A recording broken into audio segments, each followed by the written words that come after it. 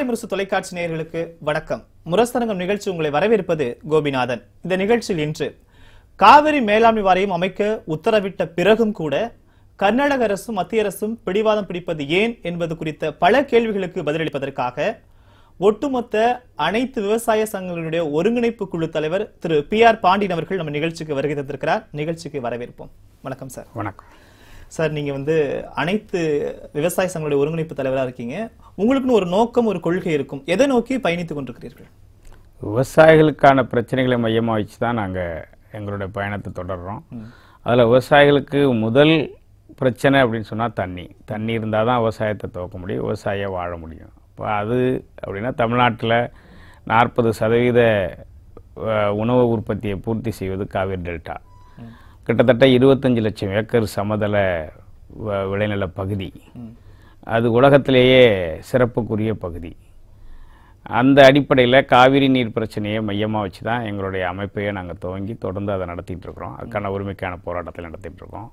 அனைத்து பகுதி விவசாய சங்கங்களையும் ஒருங்கிணைச்சு தான் முல்லை பெரியாறு உரிமைக்கான போராட்டம் பாலாறு உரிமைக்கான போராட்டம் இப்படி தமிழ்நாடு முழுமையிலும் மொழி முதல் திருவள்ளூர் வரையிலும் அனைத்து பிரச்சனைகளுக்கும் எங்கள் அமைப்பு ஒரு முன்மாதிரியான அமைப்பாக செயல்பட்டு அதாவது நாட்டினுடைய வளர்ச்சிக்கு முதுகெலும்பா இருக்கிறது விவசாயம். அந்த விவசாயம் குறிப்பா தமிழ்நாட்டுல வந்து பின்னோக்கி செல்வதாக ஒரு பேச்சு இருக்கு. இதை நீங்க எப்படி பாக்குறீங்க பின்னோக்கி செல்வது என்பது விவசாயத்துக்கான கொள்கைகளை வகுப்பது மத்திய அரசு. அது உரிய விலை உரிய சந்தை இதுக்கான பிரச்சனைகள் என்பது தனி. தமிழ்நாட்டினுடைய பின்னடைவுக்கு முதன்மையான காரணம் நீராதார பிரச்சனைகள் தான். காரணம் தாமிரபரணியை தவிர தமிழ்நாட்டில் இருக்கக்கூடிய அனைத்து நீர் ஆதாரங்களும் அண்டை மாநிலங்களை தான் நம்பி இருக்க வேண்டிய சூழ்நிலை ஏற்பட்டு போச்சு. இது இயற்கை சார் இருபது டிஎம்சி நிலத்தடி நீர் இருக்கு அப்படின்னு அவங்க சொல்றாங்க. அது உண்மையா? உண்மையிலேயே நம்ம அந்த அளவுக்கு நிலத்தடி நீரோட நம்ம இருக்கிறோமா? அதை பற்றியான வி- விரிவான விவரங்கள் இன்னும் வெளியிடப்படலை அரசாங்க சார்பாக அவங்க ஒட்டுமொத்தமாக தமிழ்நாட்டோட நீர் ஆதாரங்களை அடிப்படையாக கொண்டு சொல்கிறாங்களா இல்லை காவிரி டெல்டாவுடைய நிலத்தின் நீர் மட்டத்தை மட்டும் சொல்கிறாங்களாங்கிற கேள்வியாக இருக்குது ஏன்னா காவிரியை பற்றி பேசுகிற போது அதற்கான ஆதாரங்களை மட்டும்தான் கணக்கிடப்பட்டிருக்கணும். அப்போ அவங்க எந்த ஆண்டு கணக்கிட்டாங்க? அப்படிங்கிறதெல்லாம் இருக்குது பதினஞ்சு ஆண்டுகளுக்கு உள்ளாகவே ஒ- ஒட்டுமொத்தமா எண்பது சதவீத கிராமங்கள்ல நிலத்தடி நீர் கிடையாது. குடிக்கிறதுக்கே காவிரி டெல்டாவுக்கு பெரும்பகுதியான கிராமங்கள் கொள்ளிடம் ஆற்றுலேருந்து கிணறு போட்டு கொள்ளிடம் கூட்டு குடிநீர் திட்டம் மூலமாக தான் ரெண்டு மூணு கிணறுகள் மூலமாக தான் பாசனம் பெறுது. இது ஒண்ணு. காவிரி டெல்டா என்பது தஞ்சை நாகை திருவாரூர் மட்டும் இல்ல அதை சார்ந்த கிட்டத்தட்ட பன்னிரெண்டு மாவட்டங்கள் இருக்கு. இது நேரடி பாசனம் பெறுற பகுதியா இருக்கு. கிட்டத்தட்ட இருபத்தஞ்சு லட்சம் ஏக்கர் அதுல சாகுபடி பணியில இருக்குது. இதை விட ஐந்து கோடி மக்களுடைய குடிநீர் ஆதாரமா இருக்கு. சென்னை உட்பட பத்து மாநகராட்சிகள். வேலூர் வரைக்கும் அந்த பக்கம். அந்த பக்கம் மதுரை மேலூர் வரைக்கும். சிவகங்கை ராமநாதபுரம் புதுக்கோட்டை வரையிலும். அந்த பகுதியில் திருப்பூர் கரூர் மாநகராட்சிகள். கோவையிலே ஒரு பகுதி குடி தண்ணீர். இப்படி பல மாவட்டங்களையும் சேர்த்து கிட்டத்தட்ட இருபத்தைந்து மாவட்டங்களுடைய ஐந்து கோடி மக்களுடைய குடிநீர் ஆதாரமும் இந்த காவிரி நீர் தான் வழங்குது இப்ப காவிரி மேலாண்மை வாரியத்தை அமைக்கலைன்னா பிரதமர் மீது நீதிமன்ற அவமதிப்பு வழக்கு தொடரப்படும் நீங்க சொல்லியிருக்கீங்க. அது வந்து நீங்க எந்த அது உண்மையா நிறுதி இறுதியா ஒரு நிலையா அந்த முடிவுல இருக்கீங்களா? கண்டிப்பா நீங்க வழக்கு தொடர மாதிரி. கண்டிப்பா இருக்கும். நாங்க வழக்கு தொடர்வது என்பது சட்டத்துக்கு விரோதமானதில்லை. இது வேடிக்கையான விஷயம். அரசாங்கம் சட்டப்படி நடக்கும். சட்டத்தை மீறுறவங்க விவசாயிகள் தனிநபர்கள் தன்னுடைய சுயநலத்துக்காக சட்டத்தை மீறுவாங்க. இதுதான் வித்தியாசமானது. வேலியே பயிரமேயுது அப்படின்னு ஒரு கிராமத்துல ஒரு பழமொழி உண்டு. அதனால இன்னைக்கு பிரதமர் தான் அரசாங்கத்தினுடைய தலைவர் இந்தியாவுடைய தலைவர். அவர் தான் அரசியலமைப்பு சட்டப்படி முதன்மையானவர். அவர் தான் உச்சநீதிமன்றத்துக்கு சட்டத்தை பாராளுமன்றத்தில் வகுத்து கொடுக்குறார். நீங்க இப்படி இருக்கும்போது ஆளுநரை சந்திச்சிருக்கீங்களா? ஆளுநர் வந்து அவரால் இந்த விஷயத்தை தீர்த்துக்க முடியும்னு நீங்க நினைக்கிறீங்களா? ஆளுநர் பிரதமரோட பிரதிநிதியா இருக்காரு. இன்னைக்கு தமிழ்நாட்டுல இருக்கிற அரசியல் அசாதாரண சூழ்நிலையில ஆளுநருடைய ஆதிக்கம் அதிகமா இருக்கு. அப்ப ஆதிக்கம் என்பது ஆட்சியாளர்களை அச்சுறுத்துறதுக்கா இல்ல. இது மக்களுக்கான பிரச்சனைகளையும் எடுத்து சொல்றவர் அவர். ஆளுநர்ட்ட என்னென்ன வலியுறுத்தீங்க நீங்க? ஆளுநர்கிட்ட நாங்க காவிரி மேலாண்மை வாரியம் ஒரு உண்மையான அமைப்பு அதிகாரமிக்க அமைப்பு. அவர் என்ன சொன்னார்? அந்த அமைப்பை நான் வந்து ஏற்கனவே நான் வந்து சென்ற ஆண்டு நான் பதவியேற்ற உடனேயே அக்டோபர் மாசத்துல குடியரசுத் தலைவர் தலைமையில் இந்தியா முழுமையில் இருக்கிற ஆளுநர்கள் மாநாடு அதில் பிரதமர் கலந்து கொண்ட அன்றைக்கே நான் மூணு பக்கம் அளவில் ஒரு புத்தகத்தை எங்கள்கிட்ட படித்து காமிச்சார். காவிரி மேலாண்மை வரை அமைப்பது ஒன்று தான் தமிழ்நாட்டுக்கு தீர்வு காண முடியும் அப்படிங்கிற வாதத்தை அவர் முன் வச்சிருக்கிறாரு. உச்சநீதிமன்ற தீர்ப்பை மத்திய அரசு ஏற்கலைங்கிற கோபம் தமிழ்நாட்டில் இருக்குங்கிறத சொல்கிறாரு உச்சநீதிமன்ற தீர்ப்பை ஏற்க மறுத்த மத்திய அரசாங்கம் ஒரு ஒற்றை தீர்ப்பா இன்னும் போய் நீங்கள் ஒரு அவசர தீர்மானத்தை சட்டமன்னுடைய சட்ட கொண்டு போனதே தவறானது. தமிழகம் அதை ஏற்கலைங்கிற கருத்தை நான் வலியுறுத்தியிருக்கேன். தொடர்ந்து நான் அதை பின்பற்றிட்டு இருக்கேன். அதனால உங்க கருத்துக்கள் முழுமையும் நான் பிரதமர் கொண்டு போவேன். இப்போ நடக்க போற ஒன்பதாம் தேதி கூட்டத்துல தமிழக தலைமை செயலாளர் தமிழக அரசுடைய நிலையை தெளிவுபடுத்துவாங்க. நாங்களும் எனக்கு உங்களோட கடிதம் இதன் மூலமா ஒரு அறிக்கையை பிரதமருக்கு நாங்க அனுப்புவோம். நீர்வளத்துறை அமைச்சருக்கு தான் அது பொறுப்பு. கட்கரியை நான் ரெண்டு நாளைக்கு முன்னாடி சந்திச்சு பேசியிருக்கிறேன். நீர்வளத்துறை இணையமைச்சர் வந்தவரையும் சந்திச்சு பேசியிருக்கிறேன். அந்த அடிப்படையில் தான் இன்றைக்கு இந்த இந்த அமைப்பு உருவாகுது அப்படிங்கிற கருத்தை எங்கள்கிட்ட அவர் சொன்னார். இல்ல சார் இப்போ நீங்க இவ்வளவு கண்டனங்கள் தெரிவிக்கிறீங்க ஆர்ப்பாட்டம் போராட்டம் எதிர்க்கட்சிகள் ஒன்றிணைந்து அனைத்து கட்சி கூட்டத்துல நீங்க பங்கேற்றீங்க. இப்படிலாம் இருக்கும் பொழுது இப்போ வந்து மத்திய சர்க்கார் வந்து ஒரு ஆலோசனைக்கு வாங்க ஒரு பேச்சுவார்த்தைக்கு வாங்க இப்போ வந்து காலம் கடந்து இது இந்த ஒரு விஷயத்தை அவங்க எடுத்திருக்கும் போது உங்களுக்கு உண்மையிலேயே இதுல திருப்தி அளிக்குதா? இல்ல வந்து உள்நோக்கம் கொண்டதாக எதிர்க்கட்சிகள் சொல்றாங்களா? அது போல உள்நோக்கம் ஏதேனும் இருக்கு நீங்க நினைக்கிறீங்க அதாவது நீங்க மத்திய அரசுகிட்ட பேச்சுவார்த்தை அப்படிங்கிற சொல்றதை நாங்க ஏற்கல. இது குறித்தான பேச்சுவார்த்தைக்கு நாங்க கேட்கல. ஒரு உச்சநீதிமன்ற தீர்ப்பு இந்த தீர்ப்புக்கு ஒரு அரசியல் அழுத்தம் கொடுக்கணும். அந்த தீர்ப்புல இருக்கிற அடிப்படையான அம்சம் என்பது அந்த காவிரி மேலாண்மை வாரியம். அது தன்னாட்சி அதிகாரம் கொண்ட தேர்தல் ஆணையத்துக்கு என்ன அதிகாரம் இருக்கோ அந்த அதிகாரத்துக்கு இணையான அதிகாரம் அந்த காவிரி மேலாண்மைக்கு வழங்கணும். அப்படிங்கிற இதெல்லாம் வந்து விவரங்களை எல்லாம் உச்சநீதிமன்றமும் உறுதிப்படுத்தியிருக்கு நடுவர் மன்றமும் சொல்லியிருக்கு இது ஏனோ ஒரு பெயரளவுடன் ஒரு அமைப்பா வந்துடக்கூடாது காலம் கடத்துவதன் மூலமா இந்த அமைப்பு ஏற்படுத்துறதுல கர்நாடக சட்டமன்ற தேர்தல் நடத்தை விதிமுறை அமலுக்கு வரதுக்கு முன்னாடி இந்த அமைப்பை உருவாக்கணும். இந்த அமைப்பின் கட்டுப்பாட்டுல நதிகளுடைய அனைத்து நிர்வாக அதிகாரம் நாலு மாநிலங்களுடைய நிர்வாக அதிகாரம் முழுமையும் இதோட கட்டுப்பாட்டுல கொண்டு வரணும். இதை முழுமையுமான விவரங்களை தமிழக மக்களுடைய உணர்வுகளை தேர்ந்தெடுக்கப்பட்ட ஒரு பிரதமருங்கிற முறையில் நாலாண்டு காலம் தமிழக விவசாயிகளையும் அரசியல் கட்சி தலைவர்களையும் அவர் சந்திக்க மறுத்திருக்கிறாரு. அந்த அடிப்படையில் ஒரு இணக்கமான சூழல் மத்திய மாநில அரசுக்கு உருவாக்கணும் ஒரு காவிரி உச்சநீதிமன்ற தீர்ப்பை உறுதிப்படுத்துற போது அது எதிர்காலத்தில் செயல்படுவதற்கு ஒரு நல்ல நிலையை உருவாக்கணும். மத்திய மாநில அரசுகளுக்கான உறவுகளை மேம்படுத்தணுங்கிற முறையில் தான் அனைத்து கட்சிகளும் முதலமைச்சர் தலைமையில் எதிர்க்கட்சிகள் பல கொள்கை முரண்பாடு இருந்தாலும் அனைவரும் ஒன்றிணைந்து இந்த கூட்டத்தில் பங்கெடுத்து அந்த கூட்ட முடிவை ஒன்றுபட்டு போய் சொல்லணும் அப்படிங்கிற ஒரு நெருக்கடியை உருவாக்கணுங்கிறதுனால தான் ஒரு அரசியல் அழுத்தங்கிற முறையில் தான் அதை நாங்கள் பின்பற்றணுமே தவிர இது ஏதோ பிரதமர்கிட்ட பேச்சுவார்த்தை அப்படிங்கிற அடிப்படையில் இல்லை. இப்ப இந்த விவகாரத்தை பொறுத்தவரையில எம்பி மைத்ரேயன் அவர்கள் வந்து நான் ராஜினாமா செய்ய தயாருன்னு சொல்றாங்க. எதிர்க்கட்சியில் மு க ஸ்டாலின் வந்து ராஜினாமா செய்ய தயாருன்னு சொல்றாங்க. ஆக இந்த பிரச்சனைக்கு இவங்க ராஜினாமா செய்தால் இந்த பிரச்சனைக்கு முடிவு வந்து தீர்வாக அமையுமா? எதுக்கும் தயாரா இருக்கும் தமிழர்கள்.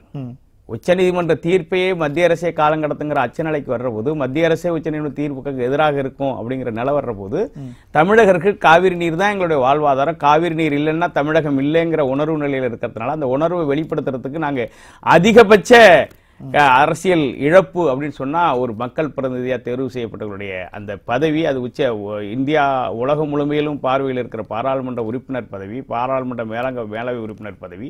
இதையும் நாங்கள் வந்து ராஜினாமா செய்ய தயாரா இருக்கோம்னா ஒரு அரசியல் நெருக்கடி உணர்வுகளை வெளிப்படுத்துகிற ஒரு முக்கியத்துவத்தை உணர்த்துங்கிறதுக்காக தான் அதை உணர்வுபூர்வமா எல்லா கட்சிகளுமே அந்த கருத்து பரிமாற்றத்துக்கு வந்துட்டாங்க இப்ப தமிழக சட்டமன்றத்தை கூட்டி ஒரு சிறப்பு தீர்மானத்தை போடணும் அப்படின்னு எதிர்க்கட்சிகள் கேக்குறாங்க. அது போல ஒரு சிறப்பு தீர்மானத்தை போடுறதுல உங்களுக்கு வந்து ஓகே இந்த மாதிரி பண்ணினா ஒரு தீர்வு கிடைக்குங்கிற ஒரு நம்பிக்கை இருக்கா? சட்டமன்ற உறுப்பினர்கள் அந்த தொகுதி மக்களுடைய பிரதிநிதிகள். அவர் போட்டியிடுகிற பொழுது கட்சி அடிப்படையில் போட்டியிடுகிறார் தேர்வு செய்த பிறகு எல்லா மக்களுடைய பிரதிநிதி. அப்போ இரநூத்தி முப்பத்தி நாலு சட்டமன்ற உறுப்பினர்கள் ஒட்டுமொத்த தமிழர்களுடைய பிரதிநிதிகளாக அங்கு உட்கார்ந்திருக்காங்க அது ஒரு அதிகாரப்பூர்வ அமைப்பு. அரசியலமைப்பு சட்டப்படி கூட்டாட்சி தத்துவத்தின்படி சட்டமன்றத்தில் பெரும்பான்மை அடிப்படையில் நிறைவேற்றப்படுகிற தீர்மானங்களை மத்திய அரசு நிறைவேற்றணுங்கிற ஒரு வழிமுறைகள் பின்பற்றப்படுகிற மரபு இருக்கு. அந்த மரபின் அடிப்படையில் சட்டமன்றத்தை கூட்டி சட்டமன்றம் மூலமாகவும் ஒரு அரசியல் அழுத்தம் கொடுக்கணும் அப்படிங்கறத நம்ம சொல்றோம். இப்போ நாங்களே என்ன சொல்றோம்? ஆனா இது வழக்கமான சடங்கு மாதிரி நீங்க பண்ண வேண்டாம். அங்க போங்க. டெல்லியில போயிட்டு உங்களுடைய ஆர்ப்பாட்டம் போராட்டத்தை இது பண்ணுங்க. காவிரி நீரை வந்து பெற்று தந்துட்டு திரும்ப வந்து அப்படி வாங்க அப்படின்னு சொல்லிட்டு ராமதாஸ் தெரிவிக்கிறார். இந்த வழக்கமான சடங்கை வேண்டான்னு அவர் தெரிவிக்கிறார். ஒவ்வொரு கட்சிகளுக்கும் தன்னுடைய உணர்வுகளை வெளிப்படுத்துகிறதுல வேற்றுமை இருக்கும். கொள்கை ஒண்ணுதான். காவிரி உரிமை மீட்கணுங்கிறதுக்கு தான் பாட்டாளி மக்கள் கட்சி போராடுது. அதே நிலையில தான் தமிழக அரசு செயல்பட்டதா வந்திருக்கு. அதுக்கு ஆதரவா நாங்களும் இருப்போம் அப்படின்னு எதிர்க்கட்சி தலைவர் வலுவான கட்சிங்கிற முறையில் அவங்களும் தயாரா இருக்கிறாங்க.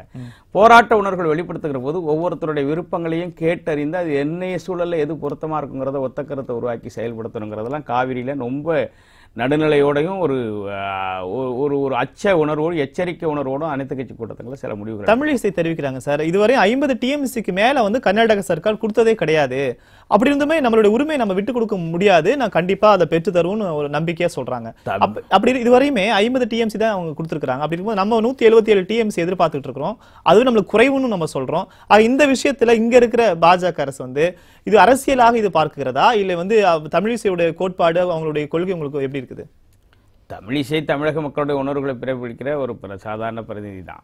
கட்சியின் அடிப்படையில் அவர் அதிகாரத்தை பயன்படுத்தி வாங்கணுங்கிற நிலையில இருக்கணுமே ஆனால் அது இந்நேரம் அது நடைமுறைக்கு வந்திருக்கணும். அதுக்கு வாய்ப்பில்லாத நிலையில இவங்க சொல்ற கருத்தை பிரதமர் பொருள்படுத்துறாராங்கிறக்கு சந்தேகத்துக்குரியது. அதனால அதன் மீது ஒரு ஒரு பெரிய விமர்சனத்தை முன்வைக்க வேண்டியதில்லை ஒட்டுமொத்தமா அனைத்து கட்சி கூட்டத்துல அவருடைய உணர்வுகள் எல்லா கட்சி தலைவர்கள் என்ன கருத்தை சொன்னாங்களோ அந்த கருத்தை தான் அவரும் வழிமொழிஞ்சிருக்கிறார் தமிழக அரசு என்ன முடிவு எடுக்குதோ அது பின்னாடி தமிழக பாரதிய ஜனதா கட்சி நிக்குன்னு சொல்லியிருக்காரு. மத்திய தேசிய பாரதிய பாரதிய ஜனதா கட்சி நிக்குன்னு அவர் சொல்லல. இப்ப சுப்பிரமணிய சுவாமி தெரிவிக்கிறார். என்னன்னா காவிரி நீர்லாம் கிடைக்காது. வேற வழிமுறைகள் இருக்கு. என்கிட்ட வாங்க நான் சொல்றேன் அப்படின்னு தெரிவிக்கிறார். சுப்பிரமணிய சாமி இந்திய அரசுக்கு எதிரானவர் இந்திய மக்களுக்கு எதிரானவர். அவர் கருத்துக்கு போய் மதிப்பளிச்சு பேசுனாக்கா அது வந்து பொருள்படாது. ஹச் ராஜா கூட சொல்றாரு நீங்க எல்லாம் எதிர்க்கட்சிகள்லாம் வாயை மூடிட்டு இருந்தாலே போதும். கண்டிப்பா நாங்க காவிரி மேலாண்மை வாரிய அமைப்புன்னு அவர் தெரிவிக்கிறார். அதோட விளைவு தான் இன்னைக்கு சம்பாதிச்சிட்டு இருக்காரு. அவருடைய பேச்சில் எந்த பொருளும் இருக்காது. அவர் பேச்சு அவர் தொடர மாட்டார். இங்கே ஒன்று பேசுவார் அங்கே ஒன்று பேசுவார். கிட்டத்தட்ட சுப்பிரமணிய சாமிக்கு இணையான தலைவராக ஹெச் ராஜா விமர்சிக்கிற பார்க்கிற பார்வைக்கு உள்ளாகி விட்டார் பாவம் அவர் மீது மிகுந்த நம்பிக்கையில் இருந்தோம். ஆனால் அவர் இன்னைக்கு அவருடைய அரசியல் அவருடைய செயல்பாடு அவருடைய வார்த்தைகள் அவருடைய அறிக்கைகளால் தமிழக மக்கள்கிட்ட புறக்கணிக்கப்பட்ட தலைவர். அதை பற்றி கருத்து கூற வேண்டிய அவசியம் இல்லை. இது இறுதி கட்டத்துக்கு வந்திருக்கு. சட்ட ரீதியான அங்கீகாரம் பெறுவதற்கு மத்திய அரசு தான் அது கையில் இருக்கு. மத்திய அரசு மதில் மேல் பூனையா இருக்கு. அது அப்படி இருக்கக்கூடாது. உச்சநீதிமன்ற தீர்ப்பு நிறைவேற்றக்கூடிய அதிகாரம் படைத்த அமைப்பு உலகமே பிரதமரை எதிர்பார்க்குது. இந்திய அரசாங்கத்தை எதிர்பார்க்குற அந்த அரசாங்கம் ஒரு விமர்சனத்துக்கு ஆட்பற்றக்கூடாது நான் ஒரே நாட்டிற்குள்ள பிரிவினையை உருவாக்கிடக்கூடாது.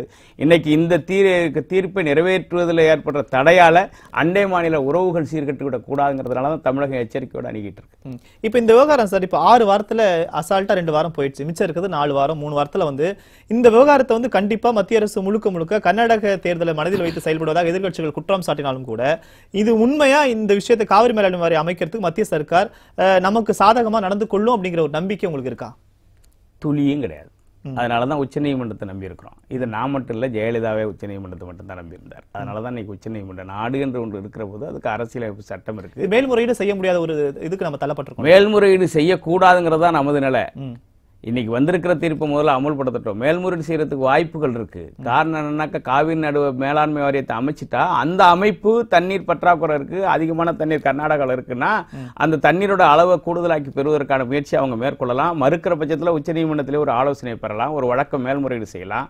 ஆனால் இந்த தீர்ப்பை மேல்முறையீடு என்கிற பெயரில் முடக்கிடக்கூடாது அது கர்நாடகத்துக்கு சாதகமாக போயிடக்கூடாதுங்கிறதுனால நாங்கள் மேல்முறையீடு வேணான்றோம் இப்போ இந்த காவிரி மேலாண்மை வாரியம் அமைக்கவில்லை என்றால் ஒட்டுமொத்தமா கூட நம்ம தமிழக விவசாயிகளுடைய அடுத்த கட்ட நிலைப்பாடு என்னவாக இருக்கும்?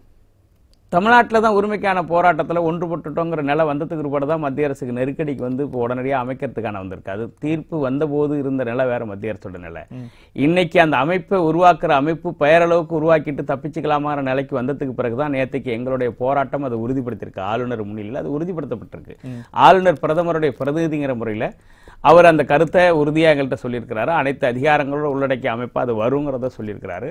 அதனால் இது எல்லாமே ஒரு தமிழருடைய பெருமையை தமிழருடைய பாரம்பரிய உ- உணர்வுகளை எந்த அடிப்படையில் வெளிப்படுத்தியிருக்கோமோ அந்த அளவுக்கு வெளிப்படுத்தியிருக்கோம். எதையும் சந்திக்க தயாருங்கிறது தான் இன்னைக்கு பெரியார் சிலை அகற்றப்படுங்கிற வார்த்தையை பதிவிட்டத்தினால ஏற்பட்டிருக்கிற விளைவுகள். ஆகவே தமிழன் ஏமாந்து போயிட மாட்டான். தமிழருடைய ஒற்றுமை சீர்குலைந்து போயிட்டு அதனால தமிழகத்தினுடைய எல்லாத்தையுமே தமிழகம் இழந்துரும். அங்க ஒன்றுபடாது. ஒத்த கருத்தை உருவாக்க முடியாது. அனைத்து கட்சி கூட்டம் நடத்தினா கூட அதில் ஒத்த கருத்தோட தீர்மானம் போட முடியாதுன்னு மத்திய அரசு எதிர்பார்த்த நிலையெல்லாம் இன்னைக்கு பாடம் கொடுத்துட்டோம். நிச்சயமா தமிழங்கிற உணர்வுகளை ஒன்றுபட்டு வெளிப்படுத்தி காவிரி உரிமையை மீட்போம். பெரியார் சிலை வந்து அகற்றப்பட வேண்டும் அப்படின்னு சொல்லிட்டு ஹச்சராஜா ஒரு ட்விட்டர்ல போட்டுட்டு அது நான் பண்ணல அப்படின்னு என்னுடைய அட்மின் பண்ணிட்டாருன்னு ஒரு தண்ணியில விளக்கம் கொடுத்திருக்கிறாரு. அவருடைய விளக்கத்தை நீங்க ஏத்துக்கிறீங்களா?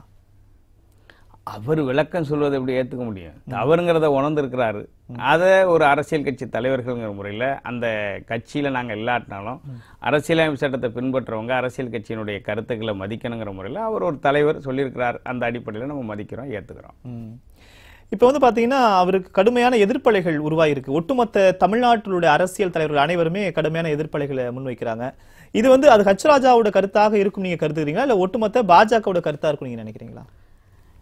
இதுல அடிப்படையா பல பிரச்சனைகள் இருக்கு. தமிழ்நாட்டுல காவிரிக்காக ஒன்றுபட்டு இன்னைக்கு உறுதியோட இருக்கிற ஒத்த கருத்தோட இருக்கிற ஒரு நிலை இன்னைக்கு பலருக்கு அச்சத்தை உருவாக்கியிருக்கு. அது மத்திய அரசுக்கும் அந்த அச்சம் மேலோங்கி இருக்கு இந்த போராட்டம் என்பது காவிரியோட முடிவுக்கு வரப்போறது கிடையாது. காவிரி டெல்டா முதல்ல காவிரி நீரை கொடுக்காததுக்கான பின்புலம் பெரிய சதியே இருக்கு. பன்னாட்டு பெருமுதலாளியோட சதியே காவிரி பிரச்சனையில இருக்கு. கர்நாடகாவுக்கு நிதியே இல்லை அங்க காங்கிரஸ் கட்சி ஆட்சி ஆனா ஆண்டுதோறும் பல ஆயிரம் கோடிக்கணக்கான ரூபாய்கள் நீர்நிலைகளை புதுசா உருவாக்கத்துக்கு வருது. அது எங்கேருந்து வருது? ஏன் தமிழ்நாட்டுக்கு கிடைக்கல? தமிழ்நாடு மத்திய அரசு நிதி கொடுத்தாதான் செய்ய முடியும். சில திட்டங்கள் அடிப்படையில் மட்டும்தான் இவங்களால செய்ய முடியுது. அப்ப அந்த அளவுக்கு பெருமான பெரும்பகுதியான நிதிகள் அங்க கிடைக்குது. அப்ப பன்னாட்டு பெருமுதலாளிய சதி இருக்குது. ஒண்ணு.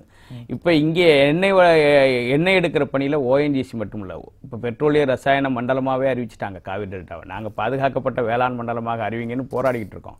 ஆனா பாதுகாக்கப்பட்ட பெட்ரோலிய ரசாயன மண்டலமாக அறிவிச்சிட்டாங்க. ரசாயன மண்டலமாக அறிவிச்சிட்டாலே அங்கே இப்போ குடியிருக்க கூட லாய் கிடையாது. வலிசிக்க கூடாது. மக்கள் வெளியேற்றப்பட வேணும். அதுக்கு அந்த இடத்துல இருக்கிற எண்ணெய்களை எடுக்கிறதுக்கு தனியார் நிறுவனங்களுக்கு அனுமதி கொடுத்துருக்காங்க. அந்த நிறுவனங்கள்லாம் காவிரி தண்ணீரை கொடுத்தாக்கா விளைநிலங்களை விவசாயிகள் விட மாட்டாங்க கா விவசாய தொழில் லாபமா வந்துருச்சுன்னா அவங்க விட மாட்டாங்க அதனால விவசாயி தற்கொலை பண்ணிட்டு சாகணும். தண்ணீர் பற்றாக்குறை வரணும்.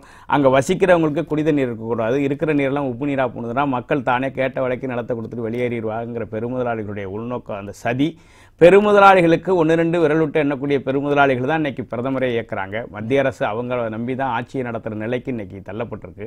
அந்த வகையில் அவங்களுடைய சதி இதெல்லாம் பின்புலமாக வச்சு தான் காவிரி நீரை கொடுக்க மாட்டேன்னு மறுக்கிறாங்க. இப்போ இதில் வந்து இருக்கிற மிகப்பெரிய சதியே அந்த விளைநிலங்களை கைப்பற்றுவதற்கு காவிரி நீர் கொடுக்கூடாது தான் இப்போ அடுத்த போராட்டம் என்பது விளைநிலங்களை பாதுகாப்பதற்கான போராட்டமும் இதே வடிவத்தில் தமிழக அரசின் தலைமையிலேயே நடக்கக்கூடிய ஒரு நெருக்கடியை இன்னைக்கு நாங்கள் உருவாக்குவோம். அது பாராளுமன்ற சட்டமன்ற தேர்தல்களில் அது வந்து முதன்மைப்படுத்தப்பட்ட கோரிக்கையாக முன் வரும் அப்போ அரசியல் கட்சிகளுக்கு அதுக்கான நெருக்கடி வரும். அப்போ அந்த நெருக்கடி வந்து தமிழகத்திலேருந்து ஒன்றுபடுற போது உலக பெருமுதலாளிகளுக்கு ஆதரவாக இருக்கிற பாரதிய ஜனதா கட்சி அதற்காக துணை போகிற மத்திய அரசாங்கம் அதற்கு துணை போகிற மோடி இவங்களுடைய மிகப்பெரிய எதிர்பார்ப்புக்கு அது எதிராக இருக்கிறதுனால இந்த சதியில் அவங்க துவங்கியிருக்கிறாங்க. இப்போ நீங்க மத்திய சர்க்கார் வந்து குறை சொல்லணுங்கிறதுக்காகவே சொல்றீங்களா? ஆனாலும் கூட அவங்க சொல்றாங்க நாங்க விவசாயிகளுக்காகவே எங்க அரசு இருக்குது. அவங்க வந்து பட்ஜெட் கூட வேளாண்மை துறைக்கு மிகுந்த ஒரு பட்ஜெட் அறிவிச்சிருந்தாங்க. அதில் வந்து ரெண்டாயிரத்தி இருபத்தி ஒன்றுக்குள்ளே விவசாயியோட வருமானம் இரட்டிப்பாக்கப்படும் தெரிவிச்சிருந்தாங்க. அப்புறம் மூங்கில் வளர்ப்புக்கு ஆயிரத்து ஆயிரம் கோடி ரூபாய்க்கு மேலே ஒதுக்கிறதா சொல்லியிருக்காங்க பதினோரு லட்சம் கோடி கடன் கொடுக்கறது நாங்கள் இலக்கு தீ- தீர்மானம் போட்டிருக்கோம்னு சொல்றாங்க. இதெல்லாம் வந்து வரவேற்க செயல் தானே சார்? இப்படி இருக்கும்போது மோடி அவர்களுடைய சர்க்காரை நீங்கள் வந்து விமர்சனம் செய்வது சரியா? பெரும் விளைநிலப் பகுதிகளை பாதுகாக்கப்பட்ட பெட்ரோலிய ரசாயன மண்டலமாக அறிவிக்கிறாங்க. விளைநிலங்கள்ல எண்ணெய்க்கு எரிவாயு எடுக்கிறதுக்கு விளைநிலங்களை அபகரிக்கிறாங்க. இருக்கின்ற நிலங்கள் வழியா தான் நாங்க எண்ணெய்க்கு குழாய் பதிப்போங்கிறாங்க. இது எல்லாம் மறைமுகமா அவங்க எடுத்துக்கிட்டு இருக்க நடவடிக்கை. ஆனா விவசாயிகளுடைய வருமானத்தை ரெட்டிப்பாக்குங்கிறாங்க இன்னொரு பக்கம் பாத்தீங்கன்னா இருக்கிற நீராதார பிரச்சனைகளை தீர்க்கறதுக்கு மத்திய அரசு தயாராகல காவிரி நீர் கொடுக்க மறுக்கிறத பெற்று தர தயாரா இல்ல. உச்சநீதிமன்றத்தில் போய் நாங்க அணுக வேண்டியதா இருக்கு. ஒரு பக்கம் மத்திய அரசு சென்ற ஆண்டு பட்ஜெட்ல கிட்டத்தட்ட இருபத்தி ஒன்பதரை லட்சம் ஹெக்டேர் தரிசு நிலங்களை நாங்க வந்து சாகுபடி நிலங்களா கொண்டு வர போறோங்கிறாங்க. இருக்கிற நேரம் இருக்கிற தரிசு நிலத்தில் விளையக்கூடிய நெல்லை கொள்முதல் பண்ணுறதுக்கு உரிய விலை கொடுக்கறதுக்கோ கொள்முதல் பண்ணுறதுக்கோ சந்தை வசதி ஏற்படுத்தல. அரசாங்கம் இங்கே விளையிற தேங்காயை கொண்டு கடல்ல கொட்டி போராடுறான். ஆனா நமக்கு தேவையான தேங்காய் எண்ணெயை வெளிநாடுகள்லேருந்து இருந்து பண்ணுறாங்க பண்றாங்க. இப்படிதான் ஒவ்வொரு உணவுப் பொருட்களையும் மத்திய அரசு கடைபிடிக்கிற கொள்கையா இருக்கு. இங்கே சிறு வணிகர்களை சுத்தமாக சுத்தமா முடக்கிற வேலை துவங்கிடுச்சு.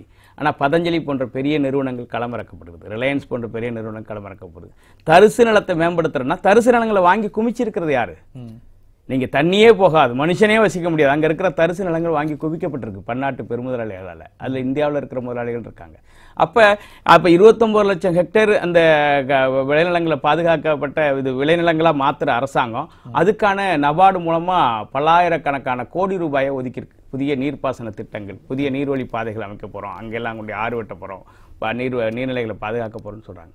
எதுவுமே அந்த கொள்கைகள் ஒதுக்கப்படுற நிதி உள்நோக்கம் கொண்டது. அது எதுவுமே இன்றைக்கு விவசாயத்தில் இருக்கிற சாதாரண சிறு குறு விவசாயிகளுக்கு நடுத்தர விவசாயிகளுக்கு பயனற்ற நிலையில் பெருமுதலாளிக்கு பயன் தர திட்டங்களை போட்டு வெளிப்படுத்துறாங்க. இந்திய அரசாங்கத்துடைய நிதி பெருமுதலாளிகளுக்காக வீணடிக்கப்படுது தவிர விவ- சிறு விவசாயிகளுக்கு எந்த நிதியும் வந்து சேருவதற்கான எந்த வாய்ப்பும் கிடையாது. இந்த இருக்கிற மத்திய சர்க்கார்ல இருந்து ஒரு ரூபாய் கூட நமக்கு வந்து பயன் இல்லைன்னு நீங்க சொல்றீங்களா? எதுவுமே நீங்க வாங்கலையா? அதுதான் நான் சொல்கிறேனே நீங்கள் வந்து சாதாரண நடைமுறையில் இருக்கிற திட்டங்கள் என்பது வேறு இருக்கிற நிலங்கள் இருக்கிற திட்டங்கள் என்பது. புதிய திட்டங்கள் இவங்க சொல்கிறது வந்து ஆயிரம் ரூபாய் வருமானம் வர்றத ரெண்டாயிரம் ரூபாய் ஆக்க போகிறேன் அப்படின்னா அந்த திட்டங்களுக்கான அடிப்படை வசதிகள் என்ன மேம்படுத்திருக்காங்க காவிரி நீரை பெற்றுக் கொடுக்குறாங்களா? முல்லை பெரியார் பிரச்சனை தீர விடுறாங்களா? பாலாத்து தண்ணி அடைக்கிறத தடுக்கிறாங்களா? இருக்கிற நீராதாரங்களை மேம்படுத்துறாங்களா? நதிநீர் திட்டம் இணைப்புங்கிறாங்களா தேசியமயமாக்குறாங்களா நதிகள் யாருக்கு சொந்தங்கிறத கேள்வியா இருக்கிற போது நதிகள் எங்கிருந்து இணைக்க முடியும்? ஒரு மாநிலத்துக்குள்ள ஓடக்கூடிய நதிகளை இணைப்பதற்கான சாத்தியங்கள் இல்லாத நிலையில நான் நதிகளை இணைச்சு நான் புதிய திட்டங்கள் கொண்டு வருவேன் அப்படி சொல்லி எந்த வகையில் நியாயம்? இப்ப மத்திய சர்க்கார் அறிவித்த அண்மையில் அறிவித்த அந்த பட்ஜெட்டை வந்து முற்றிலும் வந்து வெற்றறிவிப்பு நீங்க நினைக்கிறீங்களா? முற்றிலும் வெற்றறிவிப்பு என்பது சாதாரண ஏழை எளிய விவசாயிகளுக்கு. பெரும் முதலாளிகளுக்கு அது ஆதரவான பட்ஜெட் இப்ப கர்நாடகால பாத்தீங்கன்னா அங்க உள்ள நீர்ப்பாசனத்துறை அமைச்சர் பாட்டீல் தெரிவிக்கிறார். எங்களுக்கே நீர் இல்லைன்னு அவர் சொல்றாரு. ஒண்ணு. ரெண்டாவது விஷயம் வந்து பார்த்தா முன்னாள் பிரதமர் தேவகவுடா சொல்றாங்க நாற்பது டிஎம்சி எங்களுக்கு தண்ணி தேவைப்படுது கூடுதலா? அப்ப பதினாலு டிஎம்சி எங்களுக்கு கூடுதலா ஒதுக்கி இருக்காங்க அப்படின்னு வந்து வலுக்கட்டாயமா அங்க இருக்க கர்நாடக அரசு அதிகாரிகளாக இருக்கட்டும் சித்தராமையாவா இருக்கட்டும் கொடுக்கவே முடியாதுன்னு சொல்றாங்க. அப்படி இருக்கும்போது நம்ம தமிழ்நாடு தமிழக அரசியல் தலைவர்கள் வந்து தொடர்ந்து வலியுறுத்தினாலும் கூட அவங்க அங்க முடியாதுன்னு சொல்லும்போது இந்த விஷயம் வந்து தீர்க்கப்படாத ஒன்றாக முடியும் நீங்க நினைக்கிறீங்களா? இந்தியா என்கிற ஒரு நாடு கூட்டாட்சி தத்துவத்தை ஏற்றுக்கொண்ட மாநிலங்கள் ஒவ்வொரு மாநிலத்துக்கும் தனி ஆட்சி ஒவ்வொரு மாநில ஆட்சியும் அந்தந்த மக்கள் தீர்மானிக்கிறாங்க. அப்ப அந்த மக்கள் பெரும்பான்மை கருத்து அந்த மாநில அரசுகள் அந்த மாநிலத்தில் இருக்கக்கூடிய அரசியல் கட்சி தலைவர்கள் பேசதான் செய்வாங்க. கர்நாடகாவில் பேசுறவங்களை போய் நம்ம தப்புன்னு சொல்ல முடியாது. ஆனா கூட்டாட்சி தத்துவத்தை எல்லாரும் ஏத்திருக்கிறோம். அரசியலமைப்பு சட்டத்தை ஏத்திருக்கிறோம். ரகசிய காப்பு உறுதிமொழியை பாதுகாக்கிறோம். இந்திய இறையாண்மையை பாதுகாக்கிறதுக்கு உறுதிமொழி எடுத்தவங்க தான் முதலமைச்சரா இருக்காங்க அமைச்சர்களா இருக்காங்க. அப்ப சாதாரண குடிமகன்கள் அது அவங்களுடைய உணர்வுகளுக்கு மதிப்பளித்து ஒரு ஆட்சி நடத்தணுங்கிறது உண்மை. ஆனா சட்டத்தையும் மதிச்சு நடக்கணுங்கிறது இருக்கு. அப்ப அதை கர்நாடகம் மீறுகிற போது அதை தட்டி கேட்க வேண்டிய பொறுப்பு கூட்டாட்சி மத்திய அரசு கிட்ட கையில இருக்கு. மத்திய அரசுக்கு நீங்க எதெல்லாம் அரசுடையமாக்கணுமோ அதெல்லாம் அரசுடையமாக்க மாட்டேங்குது. எதெல்லாம் வந்து தனியார் கிட்ட கொடுக்கணுமோ அதை கொடுக்க மாட்டேங்குது.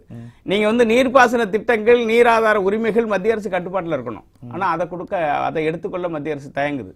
இப்ப நீங்க வந்து கமலுக்கு ஆதரவு தெரிவிப்பது ஏன்? கமலுக்கு இல்ல. நீங்க கட்சி ஆரம்பிச்சு கூப்பிட்டாலும் நாளைக்கு நான் வருவேன். கமலுக்கு அதே ரஜினி கட்சி ஆரம்பிச்சா நான் போக மாட்டேன்? ஏன்னா ரஜினி ஒரு தமிழன் கிடையாது. இன்னைய வரைக்கும் இவ்வளவு பத்தி எரியுது ரஜினிகாந்த் ராஜாவை கண்டிக்க தயாரா? இல்ல காவிரி பிரச்சனை இவ்வளவு பத்தி எரிஞ்சிட்டு இருக்க ரஜினிகாந்த் பதிவிட தயாரா? பதிவிட்டாரு. என்ன சொன்னாரு. அந்த தீர்ப்பு காவிரி மேலாண்மையும் வாரியம் தீர்ப்பு சொன்னதை வரவேற்கிறனார் உச்சநீதிமன்ற தீர்ப்பு சொன்னதை வரவேற்கிறேன்னு சொன்னதுனால முடிஞ்சு போச்சா? இன்னைக்கு ஹெச் ராஜாவோட பேச்சு அதோட பின்புலம் அதோட நோக்கம் இந்தியா தமிழ்நாட்டினுடைய ஒற்றுமையை சீர்குலைக்கணுங்கிறது ராஜாவோட நோக்கம் அப்படின்னு தமிழ்நாட்டுல இருக்கிற எல்லா கட்சியும் சொல்லிட்டாங்க. ரஜினி இருக்காரா ரஜினி காவிரி பத்தி எரிஞ்சிச்சு. ரஜினி ஒரு வார்த்தை சொன்னா எரிஞ்ச லாரி நின்று இருக்கும் அகதியா வெள்ளம் தான் ஆயிரம் ஆயிரமா தமிழர்கள் அங்கிருந்து சென்ற ஆண்டு வெற்றிடம் இருக்கு அதை நிரப்ப நான் வந்திருக்கேன். நான் தான் தலைமைன்னு சொல்றாரு. நான் ஏற்கனவே கமல் கூட்டத்திலும் தெளிவா சொல்லியிருக்கேன். தமிழ்நாட்டுல அரசியல் வெற்றிடம் கிடையாது. ஒவ்வொரு கட்சிக்கும் வலிமை இருக்கு. அதுக்கான வலிமையான தலைவர்கள் இருக்காங்க. வெற்றிடம் இல்லாத போது கமல் வர வெற்றிடம் இருப்பது போர்க்களத்துல தான். அது காவிரி பிரச்சனையில் இருக்கு முல்லை பெரியாறு பிரச்சனையில் இருக்கு இயற்கை வளம் எடுக்கிறங்கிற பேரில் நிலங்களை அபகரிக்கிற பிரச்சனையில் இருக்கு விவசாயிகளோட தற்கொலை பிரச்சனையில் இருக்கு கடன் பிரச்சனையில் இருக்கு. அதை பத்தி பேசாத ரஜினிகாந்த். நீ முதலமைச்சரா தான் நேரா நான் வந்து உட்கார்ந்துருவேன்னு சொன்னா எவ்வளவு வேடிக்கையானது. நான் எந்த பிரச்சனையும் பேச மாட்டேன். நீங்க எந்த இடத்துலயும் ஆர்ப்பாட்டம் பண்ணக்கூடாது தொண்டர்கள். யாருக்கும் எதுவும் செய்யக்கூடாது. அவர் ஒரு புது ஓ, பாராளு சட்டமன்ற தேர்தலில் நான் வேட்பாளர் அறிவிப்பேன். நீங்க எல்லாரும் எம்எல்ஏ ஆகி என்ன தேர்ந்து பண்ணி நான் முதலமைச்சரா உட்கார்ந்து என்ன கேப்பேல நெய்வதுனா கேப்பா இருக்கு புத்தி எங்க போகும். தமிழ்நாட்டுல அவ்வளவு கட்சி நீ அவ்வளவு சுலபமா எதையும் செய்யாம மக்கள் பிரச்சனை பத்தி அறியாம மக்கள் கருத்தை உருவாங்காம மக்களோடய தொடர்பு இல்லாம நான் முதலமைச்சராகி நான் உனக்கு செய்ய பிரச்சனைக்காக ஒரு கோடி ரூபாய் தரேன்லாம் சொன்னார்ல சார். இவர் நடுநீர் பிரச்சனைக்கு இவர் என்ன காசு கொடுக்கறது இவர் ஒழுங்கா இவர் வாடகைக்கு வச்சு இந்த பள்ளிக்கூடத்துக்கு வாடகை கொடுத்தாருன்னா கோர்ட்டுக்கு போக வேண்டியில்ல.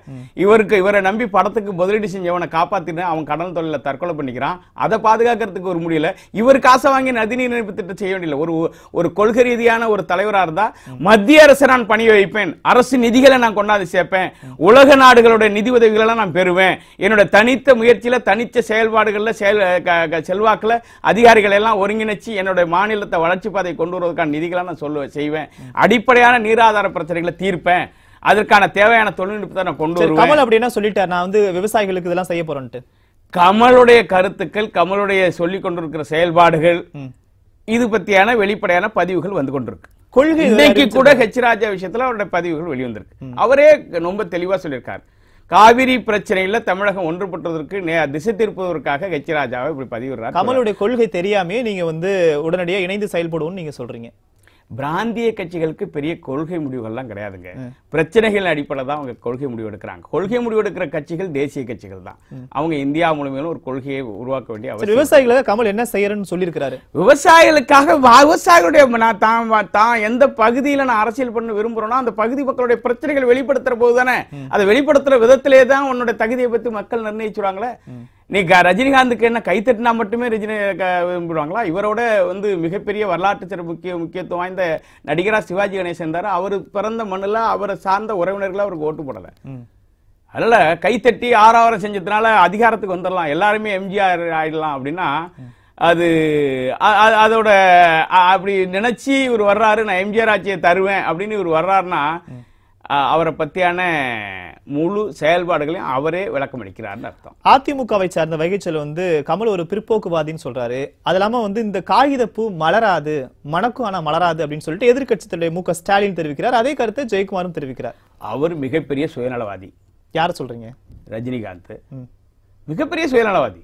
இல்ல இவங்க அவரு அவரை பொறுத்தவரையில அவர் அவரை அவர் வந்து அவருடைய நாணயத்துல பல வழக்குகள் நிலுவையில் இருக்கு. நாணயம் குறித்தான வழக்குகள் நிறைய நிலுவையில் இருக்கு. இடத்த கொடுத்தவனே தற்கொலை பண்ணிக்கிற நிலையில இருக்கான். என் இடத்துக்கு வாடகையை நான் இடத்த உங்கள்கிட்ட கொடுக்குறேன்னா அதுக்கு வாடகை நான் தான் நிர்ணயம் இல்லை நான் தான் நிர்ணயம் பண்ணணும்னு நீங்க சொல்றீங்க. கோர்ட்டு நாரடிச்சிட்டாங்க அந்த மாதிரி வழக்குகள்.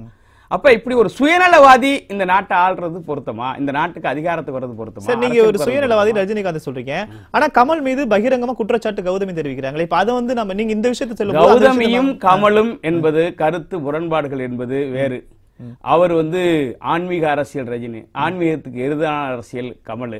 கௌதமி யாரை சந்திச்சுட்டு அந்த கருத்துக்களை வெளியிடுறாரு. இவர்கிட்டேருந்து பிரிஞ்சு வெளியில போறாரு. வெளியில போய் அவர் யாரை சந்திச்சாரு. பிரதமரை சந்திக்கிறாரு. பிரதமரை சந்தித்த பிறகு கௌதமி காவிரிக்காக தமிழகத்துல எதிர்க்கட்சி தலைவர் சந்திக்கணும் கௌதம் பாஜக பிரெட்ஜே கிடையாது சார். நான் நான் சொல்றதுல நீங்க இல்லைன்னு நான் என்ன சொல்ல விட்டு பாருங்க நாங்க நாலு வருஷ காலமா பிரதமர்கிட்ட போராடிட்டு இருக்கோம். விவசாயி போய் நூத்தி இருபது நாளைக்கு மேல டெல்லியில உருண்டு பார்த்துட்டான் பரண்டு பார்த்துட்டான் அழைச்சி பேசல. எதிர்க்கட்சி தலைவரா தேர்வு செய்யப்பட்டதுல இருந்து பிரதமரை சந்திக்கணுங்கிறாரு சந்திக்க த- தயார் இல்ல அரசியல் கட்சி தலைவர்கள் பிரச்சனை அடிப்படையில் சந்திக்கணும் சந்திக்க தயார் இல்ல கௌதமி போய் சந்திச்சாரா இல்லையா. கௌதமி சந்திச்சு மணிக்கணக்கில் பேசி இருந்தாரா இல்லையா அந்த கௌதமி இன்னைக்கு கமல் கட்சி துவங்குற போது அவர் ஒரு விமர்சனத்தை முன்வைக்கிறத வந்து நம்ம பொருட்படுத்தணுமா? அப்ப கௌதம் இயக்கிறது பாஜக சொல்லிதான் அவங்க செய்யறாங்க நீங்க அதை சொல்லுங்க பத்தி எனக்கு தெரியாதுங்க. இப்போ வெற்றி பெற போகுது அரசியல் களத்துல ரஜினியுடைய ஆன்மீக அரசியலா இல்ல கமலோட பகுத்தறிவு அரசியலா? ஒட்டுமொத்தத்துல மக்களுடைய அரசியல் தான் வெற்றி பெறும். யார் மக்கள் பிரச்சனைகளை முன்னிலை வச்சு செயல்பட போறாங்களோ அவங்களுடைய அரசியல் தான் வெற்றி பெறும். ரஜினி கமல் அரசியலை கடுமையா வந்து மு க ஸ்டாலின் எதிர்க்கிறார். இது உங்களுடைய இது அவருடைய எதிர்ப்பு சரிதானா? அதிகார போட்டி என்பது வேறு. மக்களுக்கான போராட்ட களத்தில் இருக்கிற போராட்டம் அதற்கான கருத்து பரிமாற்றங்கள் விமர்சனங்கள் என்பது வேறு. நான் மக்களுக்கான கள போராளிங்கிற முறையில் என்னோட விமர்சனத்தையும் எதிர்க்கட்சி தலைவர் ஸ்டாலினோட விமர்சனத்தையும் நீங்க இணைச்சு பேசக்கூடாது. இப்போ ஒட்டுமொத்தமாவே வந்து ரஜினியா கமலா அப்படிங்கிற ஒரு அரசியல் களம் உருவாகி இருக்கு இப்படிப்பட்ட ஒரு சூழல்ல ஒட்டுமொத்தமா அஹ், தமிழக விவசாயிகள் வந்து யார் வந்து ஆட்சி பீடத்தில் அமர்னால் நம்மளுடைய பிரச்சனைகள் தீர்வாக என்றும் நீங்க கருதுகிறீர்கள்? அது வாக்களிக்கிற காலகட்டங்களில் தான் மக்கள் நிர்மாணிப்பாங்க. அப்ப கமல் மேல உங்களுக்கு நம்பிக்கை இல்லையா? கமல் மேலேயோ ரஜினி மேலேயோ இல்ல ஸ்டாலின் மேலேயோ இல்ல இன்னைக்கு இருக்கிற எடப்பாடி மேலேயோ இல்ல தினகரன் மேலேயோ நம்பிக்கை இருக்கா நம்பிக்கை இல்லையான்னு நான் சொல்வதால ஒரு முடிவு வரப்போறது கிடையாது. மக்கள் செயல்பாட்டின் அடிப்படையில மக்களுக்கான போராட்ட களங்களில் ஈடுபடுகிற போது எனக்கு துணை வர்றவங்களுக்கு நான் வந்து உதவி செய்வேன் எனக்கு வாய்ப்பு கிடைக்கிற நேரத்துல. அந்த அடிப்படையில மக்கள் தீர்மானிக்க போறாங்க. அந்த அடிப்படையில இன்னைக்கு ரஜினிகாந்த் மக்களுக்கு அப்பாற்பட்டவர் மக்களுக்கு விரோதியானவர் தமிழக விரோதியானவர் காவிரியை பத்தி பேச மாட்டார் முல்லை பெரியாரை பத்தி பேச மாட்டார் விவசாயிகள் தற்கொலை பத்தி பேச மாட்டார் விலை நிர்ணயத்தை பத்தி பேச மாட்டார் தமிழர்கள் மீது நடத்தப்படுகிற தாக்குதலுக்கு பதில் சொல்ல மாட்டார். நேரடியாக நான் அதிகாரத்துக்கு வந்து முதலமைச்சர் நாற்காலியிலிருந்து பயனாற்ற ப- பணியாற்றுவேன் என்று சொல்லுகிற போது மக்கள் தீர்மானிப்பார்கள். அதே கமலஹாசனுடைய பிரச்சனைகள் எல்லாமே நீங்க பாத்தீங்கன்னா அவர் தோக்குன உடனேயே நான் வந்து நெடுவாசலுக்கு வரேன்றாரு. அத்திக்கடவு அவினாசி திட்டத்துக்கு வரங்கிறாரு. காவிரி டெல்டாவுக்கு வரங்கிறாரு. காவிரி பிரச்சனை கருத்து சொல்றாரு. இப்படி இவங்க ரெண்டு பேருக்குள்ள இருக்கிற கருத்து அந்த இந்த அரசியல் கருத்து பரிமாற்ற முரண்பாடுகளே மக்கள் யாரை வந்து ஏற்றுக்கொள்வார்கள் நிலை ஒன்றும் வரும். இவங்க ஏற்றுக்கொண்டதுனால் இவங்க அதிகாரத்துக்கு வந்துடுவாங்க அப்படின்னு நான் சொல்லலை. நான் வந்து கமல் மேடையில் என்னை கூப்பிட்டு பேச வச்சாரு அப்படின்னாங்கிறதுனால நான் கமலை ஆதரிக்கிறோனும் இல்லை. அரசியலுக்கு. அப்பாற்பட்ட அமைப்பு. அரசியலுக்கு அப்பாற்பட்ட அமைப்பாக இருக்கிறீங்க. ஆனா கமலோட கட்சி தொடக்க விழாவுக்கு நீங்க போயிருக்கீங்க. மாநாட்டுல நீங்க வந்து கலந்துக்கிட்டீங்க இப்படிப்பட்ட ஒரு சூழல்ல கமலோட நேரடி அழைப்பின் பேரில் நீங்க சென்றீங்களா? பலர் என்ன அழைச்சிருக்கிறாங்க.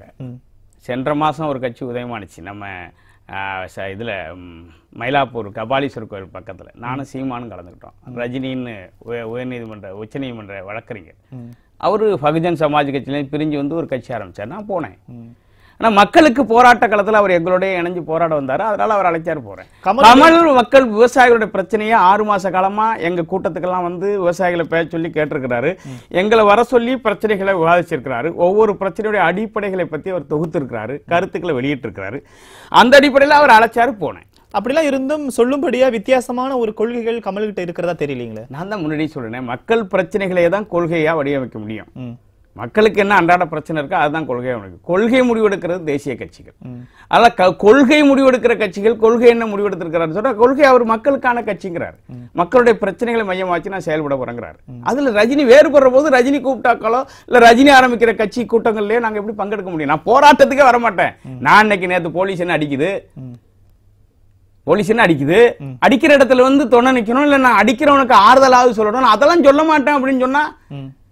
அப்ப நான் வந்து ஓட்டு போறதுக்கு மட்டும்தானா? நான் என்ன ஏந்திரமா நீ வந்து உன்னை சரி, நீ நடித்த திரைப்படத்துக்கு நாங்க கட்டணம் செலுத்தி தான் பார்த்திருக்கிறோம் அதுவும் பத்து ரூபா டிக்கெட்டை ஆயிரம் ரூபா கொடுத்து வாங்கி பார்த்திருக்கிறான் ஒரு ரசிகன். அந்த அளவுல தான் உன்னுடைய திரைப்படங்கள் உன்னுடைய இது சேவை தொடர்ந்து இருக்க தவிர உன்னால தமிழ்நாட்டு மக்களுக்கு என்ன பயனு? இன்னும் சொன்னா நதிகள் இணைக்கிறதுக்கு ஒரு கோடி ரூபா இன்னை வரைக்கும் கொடுத்தது இல்லையே. அரசாங்கம் நீ கொண்டு கொடுத்துறேன். இப்போ ஒருவேளை ரஜினி கமலும் நட்பு ரீதியா நல்லா பழகுறதுனால இணைந்து செயல்பட்டால் தேர்தல் நேரத்தில் இது தமிழக விவசாயிகள் சங்கம் ஏத்துக்குமா? அவங்களோட இணைந்து செயல்படுறத வரவேற்று அவர்களுக்கான வாக்கு வங்கியை நீங்க ஒத்துழைப்பு கொடுப்பீங்களா? கமல் தலைமையை ஏற்றுக்கொண்டு ரஜினி செயல்படுவாரானால் மக்கள் ஏற்றுக்கொள்வாராங்கிற மக்கள் தேர்தல் களத்துல தான் பார்க்க முடியும். பாண்டியன் நிர்ணயிக்க முடியாது. நான் அன்றைய இன்றைய நிலவில் ரஜினியினுடைய கொள்கைகள் செயல்பாடுகள் ஏற்றுக்கொள்ளாதவனா இருக்கேன். ஒரு தமிழன் ஆளணும் அப்படிங்கிற உணர்வுல இருக்கேன். அந்த அடிப்படையில் மட்டும்தான் என்னோட கருத்து பரிமாற்றங்கள் இருக்கு. கூடுதலா க- க- கமலுடைய மேல வந்து நான் அந்த கூட்ட மேடை ஏறினது காரணமே விவசாயிகள் பிரச்சனை பத்தி பல மணி நேரம் என்னோட பேசியிருக்கிறார். பல நாட்கள் பேசியிருக்கிறார். ஒன்னொன்னையும் ஆதாரங்களை திரட்டி அதுக்கான மாற்று இது ஒரு பாதிப்பு அப்படின்னு சொன்னா அதுக்கு ஒரு மாற்றையும் அவர் கண்டுபிடிச்சு வச்சிருக்கிறாரு. இப்படி ஒரு செயல்பாடுகள் இருக்கிற போது ஒரு புதிய கட்சி ஆரம்பிக்கிறேன்னு சொல்ற போது நம்ம மருத்துவத்தினால அந்த கட்சி நின்ற போறது கிடையாது. நம்ம ஏறினதுனால அந்த கட்சி அதிகாரத்துக்கு வந்துட போறது கிடையாது. ஆனா நாம வந்து ஒரு ஒரு ஒரு விவசாயிகளுடைய தலைவனா என்னை ஏத்துக்கிட்டு விவசாயிகளுக்கு மதிப்பளிக்கிற வகையில என்ன விவசாயிகளோட பிரதிநிதியா அழைச்சி ஒரு மேடையில பேச சொல்றாரு ஒரு கட்சி துவக்கத்துலன்னு சொன்னா இன்னைக்கு கட்சி ஆரம்பிக்கிறாங்களா பெரிய ஆட்களை கூப்பிடுவாங்க. சினிமா நடிகர்களை கூப்பிடுறாங்க. மிகப்பெரிய தொழிலதிபரை கூப்பிடுவாங்க.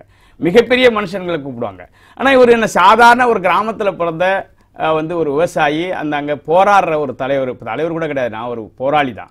என்ன அழைச்சி அந்த மேடையில் கௌரவப்படுத்துகிற போது ஒட்டுமொத்த எட்டு கோடி தமிழ் விவசாய பெருமக்களுக்கு அது மகிழ்ச்சியாக இருக்குது பெருமைப்படுத்துறேன்னு நினைச்சேன். அந்த அடிப்படையில் தான் அந்த மேடையில் ஏறி பேசுறமே தவிர கமல் ஆட்சிக்கு வந்துருவாரு முதலமைச்சர் ஆயிடுவாரு அதிகாரத்தை பற்றுவாரு இன்னும் பல கட்சிகள் ஆட்சிக்கு வருவதற்கு வாய்ப்புள்ள கட்சிகள் எல்லாம் புறந்தள்ளிடணும் அப்படிங்கிற எண்ணத்துல நான் அதுக்கு போகல. ஒருவேளை மாதிரி ஒரு அரசியல் விமர்சனங்கள் வைப்பதை நான் ஏற்க விரும்பல. இணைந்து செயல்பட வேண்டும் அரசியல்ல அப்படின்னு உங்களுக்கு அழைப்பு கொடுத்தாலோ இல்ல வந்து தேர்தல் நேரத்துல வந்து நீங்க சட்டமன்ற உறுப்பினர் ஆக வேண்டும் என்று அவர் விருப்பம் தெரிவித்தாலோ உங்களுடைய நிலைப்பாடு என்னவாக இருக்கும்? இது எதுக்குமே ஒரு சம்பந்தம் இல்லாத கேள்வி. என்னுடைய உணர்வுகள் என் அமைப்பினுடைய செயல்பாடுகள். அதுக்கு எதுக்குமே துளியும் பொருத்தமில்லாத ஒரு கேள்வியை நீங்க முன் வச்சிருக்கீங்க. எனக்கும் அரசியலுக்கும் சம்பந்தம் இல்லை. நான் நம்பியிருக்கிற விவசாயிகள் ஒவ்வொரு கட்சியை சார்ந்தவங்க தான் என்னோட இருக்கிறாங்க. ஏன் சார் இவ்வளவு போராளியா இருக்கும்போது ஒரு சட்டமன்ற உறுப்பினரா இ- இருந்து அந்த மக்களுக்கு சேவை செய்யறது நல்ல விஷயம் தானே? மக்களே சேர்ந்து விவசாயிகள் தான் தலைவரா வரணும் பிரதிநிதியா வரணும் எம்எல்ஏ வரணும் பிரசிடண்டா வரணும் மாவட்ட க- ப- த- தலைவரா வரணும் பாராளுமன்ற உறுப்பினரா வரணும் முடிவெடுத்து அந்தந்த பகுதிகளில் ஒவ்வொருத்தர் அவங்க நிறுத்துற போது அதை ஒருங்கிணைத்து அரசியலா கொண்டு வந்தாக்கா இந்த பாண்டியா அதுக்கு போய் ஒருங்கிணைக்கிற பணியில ஈடுபடுவான். அதை விட்டு ஏதாவது ஒரு அரசியல் கட்சிகள்ல எம்எல்ஏ ஆயிரணும் அப்படின்னு நான் அதுக்கு ஒரு முடிவெடுத்தேன்னா அது என்னை சார்ந்து இருக்கிற என்னை நம்பி இருக்கிற அந்த விவசாயிகளுக்கு செய்கிற மிகப்பெரிய துரோகம். கமலஹாசன் அவர்களுக்கு வந்து போட்டி வந்து ரஜினியா மு க ஸ்டாலினா டிடிவி தினகரனா இது ரஜினி கமல் இதை இணைச்சு நீங்க கேள்வி கேட்டீங்க. என்னால விரிவா வெளிப்படையா சொல்ல முடிஞ்சுச்சு. டக்குன்னு எல்கேஜிக்கும் உயர்கல்வி படிச்சவங்களையும் இணைச்சி கேள்வி கேட்டாக்கா நான் எப்படி பதில் சொல்ல முடியும். கா ஸ்டாலினை பொறுத்தவரையில் மிகப்பெரிய கட்சியினுடைய தலைவர். செயல் தலைவர்னா அவங்க அப்பா தலைவர். தமிழக உரிமைகளுக்கான போராட்டங்கள்ல களங்கண்ட குடும்பத்தை சார்ந்தவர் அவர் வந்திருக்காரு. தினகரன் அப்படின்னா உலகத்திலேயே பெண் தலைவர் ஒரு சிறப்பாய்ந்த தலைவர்னா ஜெயலலிதா. ஜெயலலிதாவுக்கு இணை வேற யாரையும் நம்ம இன்னைக்கு தமிழ்நாட்டில் சொல்ல முடியாது. அநேகமா இந்தியாவில் சொல்ல முடியாது. அந்த அளவுக்கு ஒரு இணையான தலைவர். அவர்கிட்ட அரசியல் பாடம் பயின்ற ஒரு தினகரன். ஆகவே அதை வச்சு நீங்க போய் கமலை ரஜினி இணைச்சி கேள்வி கேட்கறது போல இவங்களை எல்லாரும் கொண்டாந்து இணைச்சி கேள்வி கேட்கறதுல எனக்கு பதில் உடன்பாடு இல்லைன்னு சிரமம் இருக்கு. சொல்றீங்க. சிரமம் இருக்கு. எனக்கு பதில் சொல்றது கமல் அவர்கள் வந்து கமல் அவர்களுக்கு வந்து கட்டிப்பிடி வைத்தியம் தெரியுமே தவிர மக்களை கட்டி காக்கிற கிடையாது. அப்படி ஒரு தலைவர் அவர் இல்லை அப்படின்னு ராஜேந்திர பாலாஜி அவர்கள் தெரிவிக்கிறார். இல்ல நிர்வாக திறமை கமல்கிட்ட எப்படி இருக்குன்னு எதிர்பார்க்க முடியும். அவர் இதுவரையிலும் திரைப்பட கலைஞர் இன்னைக்கு நிர்வாக ரீதியான பொறுப்புக்கு இப்பதான் காலடி பதிக்கிறாரு. அவருடைய? அவருடைய அனுபவங்கள் இருக்குல்ல. அனுபவங்கள்லாம் ஒருத்தருக்கு ஆட்சியில் இருந்தாலும் மட்டுமே தான் நிர்வாக திறமை இருக்கும் அப்படின்னு சொல்லிட முடியாது. அனுபவ கருத்துக்கள் தான் நிர்வாகத்துக்கு உதவும். அதனால் அவர் கிட்டத்தட்ட நாற்பது ஆண்டு காலம் குறைந்தபட்சம் நாற்பது ஆண்டு காலம் மக்கள் பிரச்சனைகளை பற்றி அவர் திரைப்படங்களில் தன்னுடைய நடிப்பு மூலம் வெளிப்படுத்தியிருக்கிறாரு. தன்னுடைய தமிழ் உணர்வுல அவர் மேலோங்கினவர். அவர் தந்தை பெரியாருடைய கொள்கையை முழுமையாக ஏற்றுக்கொண்டவர். பிறப்பால் அவர் வந்து உயர் ஜாதியை சேர்ந்தவர். அவருடைய செயல்பாட்டால் சாதாரண ஒரு கிராம நடைமுறையில் சாதாரண பகுதி மக்களுடைய பிரதிநிதியாக தான் அவர் திரைப்படத்தில் இருந்திருக்கிறாரு. அந்த வகையில் அவருக்கு வந்து இன்னைக்கு படித்தவர்கள் மத்தியிலையும் என்கிட்ட பலர் விமர்சனங்கள் இருக்கு. எனக்கு அவர் அவரோட கூட்டத்தில் போய் பங்கெடுத்ததுனால ஏகப்பட்ட விமர்சனங்களும் இருக்குது. அதில் பாசிட்டிவும் இருக்குது நெகட்டிவும் இருக்குது. அப்புறம் நேர்மறையான கருத்தை சொல்றவங்க எல்லாம் தவறானவங்க நம்ம எடுத்துக்க முடியாது. நேர்மறையான கருத்தை சொன்னவங்களுக்கு பதிலளிக்கிற வாய்ப்பாக தான் உங்கள் தொலைக்காட்சியில் இன்னைக்கு என்கிட்ட கேள்வி கேட்டுட்டு இருக்கீங்க. நான் எந்த விதத்திலையும் கமலை ஆதரிப்பது என்பது தமிழகத்தில் அரசியல் வெற்றிடம் இருக்கு அதிகார வெற்றிடம் இருக்கு அதனால இல்லை. போர்க்களத்தில் வெற்றிடம் இருக்கு. போர்க்களத்துக்கெல்லாம் யாரும் முன்னிலைப்படுத்தி அதை முதன்மையான கொள்கையா வச்சு அரசியல் கட்சி துவங்குறேன் அரசியலுக்கு வரேன்னு சொல்றாங்களோ அவங்கள அத்தனை பேரையும் நான் ஆதரிப்பேன். அவங்கள எல்லாரையும் நான் தலைமையில சுமக்க தயாரா இருக்கேன். எனக்கு அரசியல் கிடையாது. எனக்கு விவசாயிகளுடைய பிரச்சனைகள் அடிப்படையில் தான் நான் கொள்கையை வகுக்கிறேன். எனக்குன்ற ஒரு கொள்கை கிடையாது. என் அமைப்புக்குன்னு ஒரு கொள்கை கிடையாது. எனக்கு நான் இன்னைக்கு பிஜேபி தப்பு செஞ்சுன்னா எதிர்ப்பேன். அதே பிஜேபி நல்லது செய்கிற போது நான் ஆதரிப்பேன். அப்ப அதுதான் எங்களுடைய கொள்கை. அப்ப எங்களுடைய கொள்கை திட்டங்கள் எல்லாமே மக்களுடைய பிரச்சனைகளை முன் வச்சு திட்டமிடுற போது எனக்கு தலைவரை பத்தியான தனி தகுதிகளை வச்சு அளவீடு படி செய்ய முடியாது. என்னுடைய தன்னுடைய உணர்வு ரீதியான வெளிப்பாடு தமிழ்நாட்டை தமிழன் ஆள வேண்டும். இது வந்து அண்டை மாநிலங்களுடைய தாக்குதல்களை நேரடியா இந்த காவிரி பிரச்சனையில முல்லை பெரியார் பிரச்சனையில பாலாறு பிரச்சனையில அனுபவிச்சதுனால உணர்வுபூர்வமான அரசியல் வேணும் அப்படின்னா தமிழ்நாட்டில் பிறந்தவன் தமிழ் மண்ணை நேசிக்கிறவன் தமிழ் மக்களை உறவாக கொண்டிருக்கிறவன் ஆட்சிக்கு வர்றபோது கொள்கையாக கொண்டு வர்றபோது தான் தமிழ்நாட்டினுடைய வளர்ச்சி தமிழட்டை மீட்க முடியும் அப்படிங்கிற நம்பிக்கையில் சொல்லியிருக்கிறேன். அந்த அடிப்படையில் தான் நான் என்னுடைய செயல்பாடுகளை வடிவமைச்சிருக்கேன். தமிழ்நாட்டில் வந்து இந்த ஒரு ஆண்டு அரசு அதாவது எடப்பாடி பழனிசாமி தலைமையில் ஒரு வருஷ அரசில் வந்து பார்த்தீங்கன்னா அவங்க ஒரு சாதனை மலர் புத்தகமே வெளியிட்டிருக்காங்க. அதில் விவசாயிகளுக்கு ந- பல்வேறு நன்மைகள் அங்கே செஞ்சுருக்கோம்னு அவங்க சொல்கிறாங்க உண்மையிலேயே எடப்பாடி பழனிசாமியோட அரசு வந்து உங்களுக்கு திருப்தி அளிக்கிறதா? எடப்பாடி பழனிசாமி அரசுல கசப்பு இருக்கு இனிப்பு இருக்கு துவர்ப்பு இருக்கு அஹ் வந்து விஷமும் இருக்கு ம். அதிகம் எது இருக்கு? அதிகமா என்ன இருக்கு நீங்க நினைக்கிறீங்க நீங்க இது உவர்ப்பு கசப்பு விஷம்லாம் நீங்க சொல்றீங்க ஆமா. அதிகமா உங்களுக்கு இது கசப்பான அனுபவமா இந்த அரசு இருக்கா இல்ல இனிப்பான அனுபவமா இருக்கா ஒரு சமதள பார்வை இருக்கு ம். அந்த பார்வை இன்னைக்கு தேவை இருக்கு ம். அந்த அடிப்படையில் அந்த அரசை நான் பார்க்குறேன். அவங்க சொல்றாங்க கடந்த வருஷத்துல கடுமையான வறட்சி ஏற்பட்ட போது ரெண்டாயிரத்தி எழுநூறு கோடி ரூபாய் நாங்க ஒதுக்கி இருக்கிறோம் அப்படின்னு சொல்றாங்க. அது அதுல அதை வந்து ஜெயலலிதாங்கிற ஒரு மிகப்பெரிய ஆளுமை அந்த கட்சியை ஆட்சி நடத்தினாங்க. யாரும் எதிர்பார்க்கிற நிலையில் அவங்களுடைய இறப்பு. அவங்க இறப்புக்கு பிறகு அந்த கட்சியை பலர் பங்கு போட நினைச்சாங்க. சில ஆதிக்க சக்திகள் தன்னுடைய அதிகார பலத்தை முழுமையும் தனி மனித தாக்குதலா துவங்கி அதையே தன்னுடைய அரசியல் லாபமா கருதத்துக்கெல்லாம் முயற்சி எடுத்தாங்க. அப்ப அது பல வகையில அந்த அது ஒரு வகையில தமிழ்நாட்டில் இருக்கிற அரசியல் கட்சிகள் இந்த ஆதிக்க சக்திகளுக்கு இடமளிச்சிடக்கூடாதுன்னு ஆட்சி பலவீனமான ஆட்சியாக இருந்தால் கூட அதை காலப்போக்கில் அந்த ஆட்சிக்கான உரிய மாற்றங்களை கொண்டு வரலாங்கிற முறையில் எல்லாருமே ஒன்றிணைஞ்சு தான் அந்த பார்வை தமிழ்நாட்டில் இருந்தது. அது இன்னைக்கு பலரை வெளிப்படையாலாம் சொல்ல முடியாது. அந்த நிலையெல்லாம் இருந்ததெல்லாம் உண்மைதான். ஆனால் இன்னைக்கு இருக்கிற சூழ்நிலையில் அது ஒரு ஒரு நம்பிக்கையற்ற ஒரு ஆளுமை திறன்மிக்க ஆட்சி அப்படின்னு சொல்லிட முடியாது. ஆனால் இன்னைக்கு தமிழ்நாட்டில் இருக்கிற எல்லா கட்சிகளும் சேர்ந்து வந்து அந்த கட்சி ஆட்சியை வழிநடத்துற ஒரு வாய்ப்பை ஒரு சமதள பார்வையோட நடத்துற ஒரு வாய்ப்பை எடப்பாடி பழனிசாமி கொடுத்திருக்கிறார். இப்போ அதனால தான் வந்து க- அனைத்து கட்சி கூட்டம் நடந்தது. அதுக்கு முதல் நாள் வந்து எதிர்க்கட்சி தலைவரோட அவர் பேசியிருக்கிறாரு. நேற்றைக்கு அனைத்து கட்சி கூட்டத்துக்கு பிறகு நேற்றைக்கு ஒன்பதாம் தேதி நடைபெறுகின்ற கூட்டத்தில் தமிழக அரசினுடைய அதிகாரிகளை அனுப்பி வைப்பது சம்பந்தமான ஒரு கலந்துரையாடல் நடத்திருக்கிறார். சார். விவசாயிகளுக்கு உகந்த அரசா எடப்பாடி பழனிசாமி அரசு இருக்குதா அப்படிங்கறது என்னுடைய கேள்வி. விவசாயிகளுக்கு உகந்த அரசா என்பதை விட மத்திய அரசு விவசாயிகளோட இணக்கமா இருக்காங்கிறத பார்க்கிற போது மத்திய அரசுக்கும் விவசாயிகளுக்கும் இருக்கிற எதிர்ப்பு தமிழகத்தின் மீது மத்திய அரசுக்கு இருக்கிற எதிர்ப்பு நிலை இந்த நிலைகளை தனக்கு சாதகமா மத்திய அரசு பயன்படுத்துவது இந்த ஆட்சியினுடைய இன்றைக்கு ஏற்பட்டிருக்கிற அரசியல். பின்னோக்கு காரணங்களை தனக்கு சாதகமா மத்திய அரசு பயன்படுது. அந்த நிலையிலிருந்து இந்த ஆட்சி தன் ஆட்சியும் காப்பாற்ற வேண்டியிருக்கு. தன்னை நம்பி இருக்கிற மக்களுக்கும் அது பதில் சொல்ல வேண்டிய அவசியம் இருக்குது. தலைமையேற்றிருக்கிற தன்னை சார்ந்து அனைத்து கட்சிகளும் ஒரு ஒரு கொள்கை வடிவத்தை எடுக்கிற போது அவங்களையும் அனைவர் அரவணைத்து கொண்டு போக வேண்டிய ஒரு நெருக்கடியான நிலையில இந்த ஆட்சி இருக்குது. அதனால இந்த ஆட்சி இருக்கிற கால வரையிலும் இந்த ஆட்சிக்கு தமிழக மக்கள் தமிழக அரசியல் கட்சிகள் ஒன்றிணைந்து தான் இருக்க வேண்டிய ஒரு நல்ல ஒரு சூழலை எடப்பாடி பழனிசாமி உருவாக்கியிருக்கிறார்.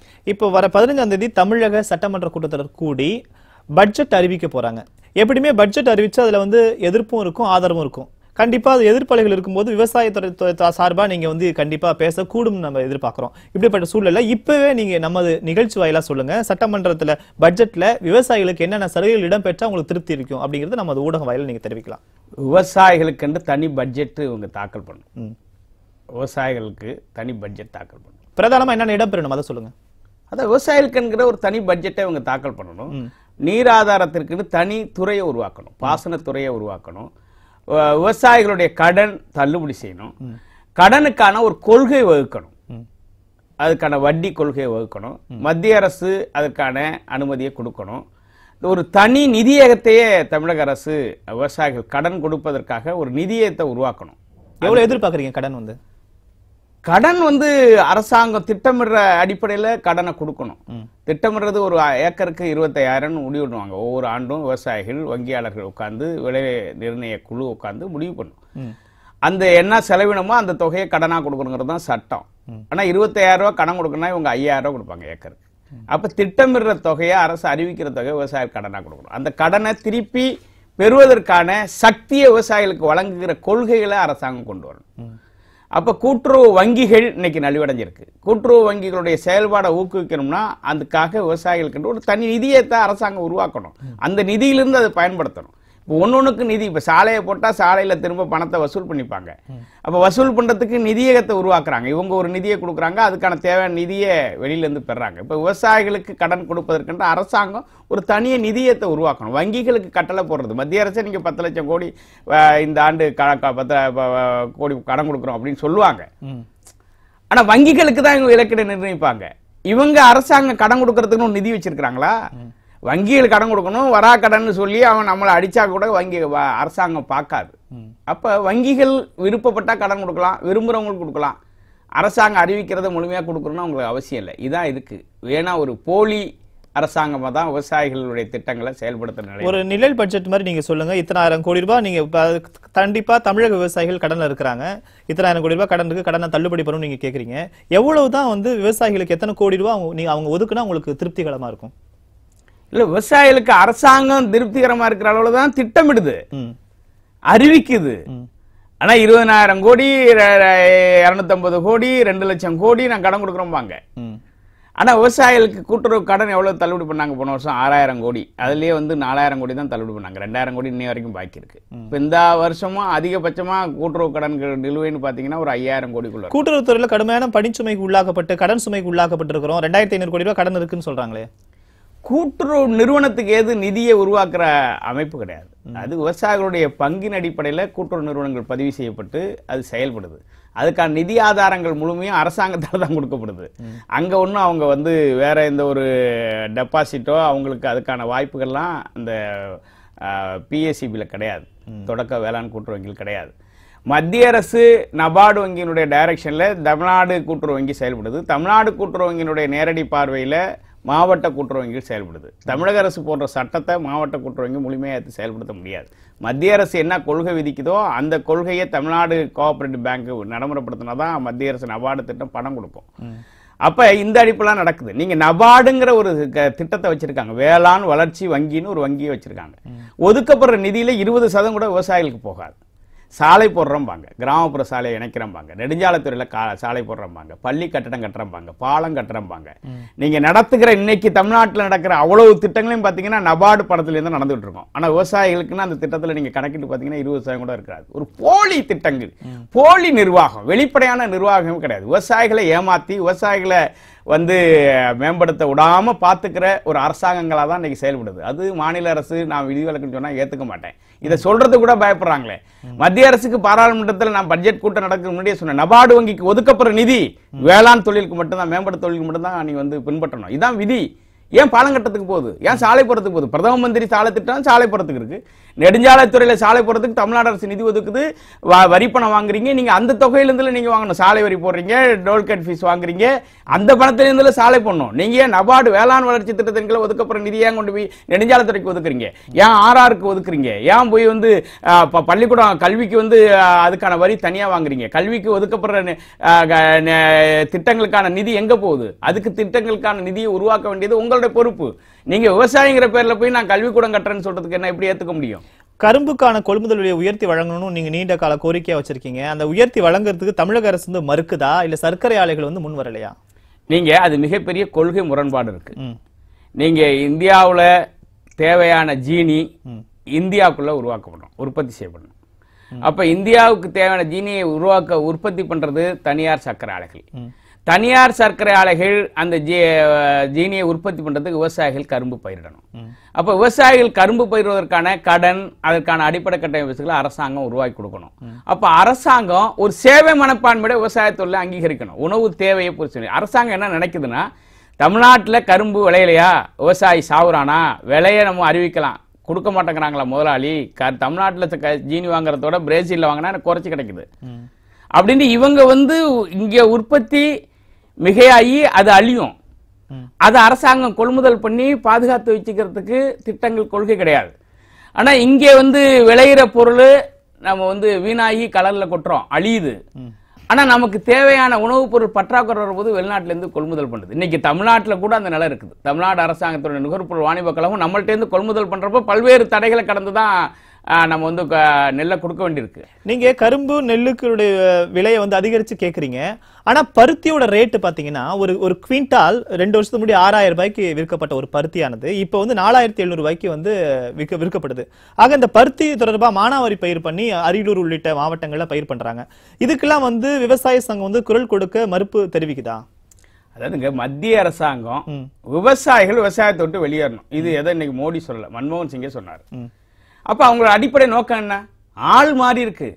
கட்சி மாறி இருக்கு. கொள்கை ஒண்ணுதான். இவங்க உலகளாவிய ஒப்பந்தத்தின் அடிப்படையில் தான் யாரு பொறுப்புக்கு வந்தாலும் பண்ண முடியும்.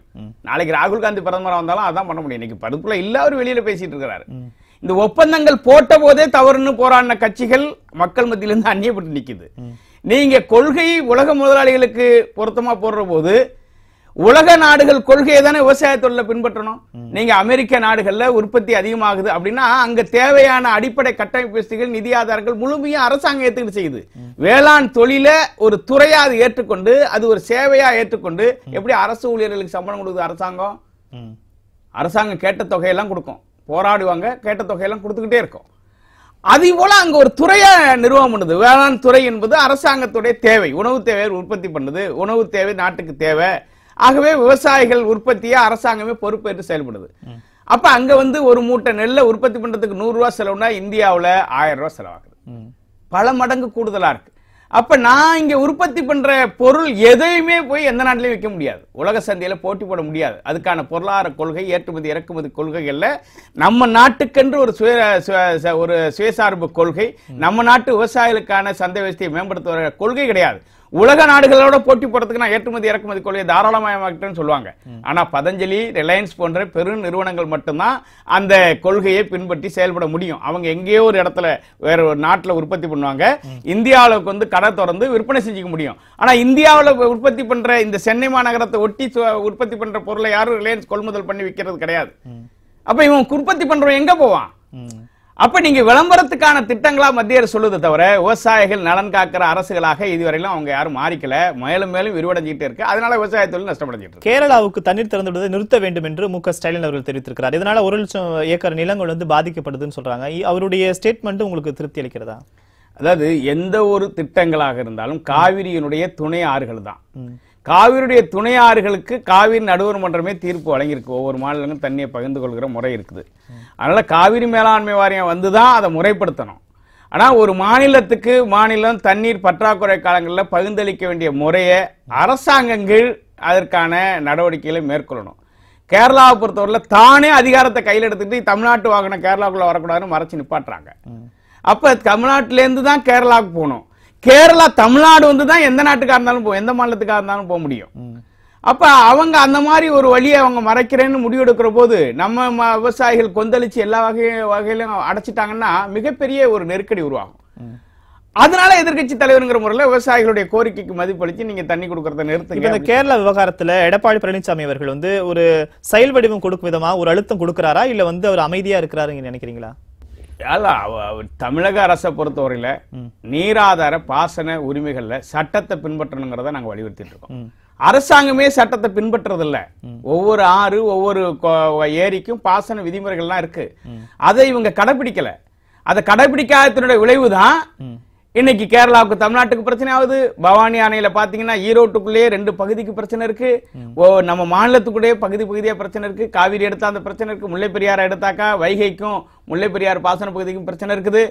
மேலூர்ல ஒரு நாள் பூரா நே- நேஷனல் தேசிய நெடுஞ்சாலையை மறைச்சாங்க. இதெல்லாமே அரசாங்க அதிகாரத்தில் இருக்கிறவங்களுடைய தலையீட்டின் காரணத்தினால வந்தது. நாங்க அதனாலதான் சொல்றோம்.